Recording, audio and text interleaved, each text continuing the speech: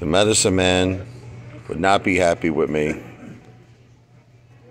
Uh, my wife, though, is is being very, very good. She's only having a grilled chicken wrap. That's it. She's, she's doing the best she can. Very healthy. Um, my my sacrifice today is instead of having a ten patty uh, chicken, you know, I got the grilled chicken with the cheese and the club. I'm gonna have a five patty. So I compromised with my wife. I said, you know what? I'm gonna take 50% off. Instead of 10 patties, we're going to have a five patty uh, grilled chicken club sandwich. Then we got some other stuff, you know, that we're going to share with the kids. You know, Sophia's got her mac and cheese. I'm not going to get you, going to get the mac and cheese.